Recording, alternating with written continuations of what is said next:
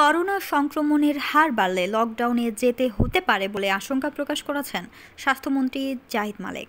শনিবার বিকেলে মানিকগঞ্জে দুইশো পঞ্চাশ শয্যার জেলা হাসপাতালে করোনা টিকার বুস্টার ডোজ উদ্বোধনকালে তিনি এ আশঙ্কার কথা জানান। স্বাস্থ্যমন্ত্রী বলেন, এই মুহূর্তে সরকারের লকডাউন দেওয়ার কোনো পরিকল্পনা নেই, তবে সংক্রমণের হার বাড়লে লকডাউনে যেতে হতে পারে। এ সময় তিনি বলেন, জানুয়ারিতে চার কোটি ডোজ টিকা দেওয়ার পরিকল্পনা রয়েছে। এপ্রিল থেকে মে মাসে বাংলাদেশের বারো কোটি মানুষকে আমরা সেকেন্ড ডোজ দিতে পারব।